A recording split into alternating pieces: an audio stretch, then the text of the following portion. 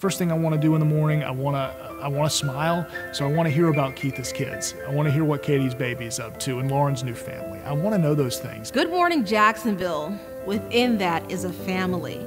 We are together before the sun even comes out. I love that I know when I walk into the station, I'm gonna see Keitha and Lou and Lauren and even the people behind the scenes. Having this home that is Good Morning Jacksonville, I love coming into work every day. Spending time with Katie and Keith and Lauren, they're all such wonderfully upbeat, cool people. There's a camaraderie there that you can't just make up. I'm blessed to be a part of it. Like, you don't find that in every workplace or at every news station. Katie and Keitha and I, we all have that mom camaraderie. Truth be told, Keitha and I have worked together longer than anybody. So I think she knows the right times to call me on my stuff. There's no better way to start your day. Good morning, Jacksonville. First Coast News on your side.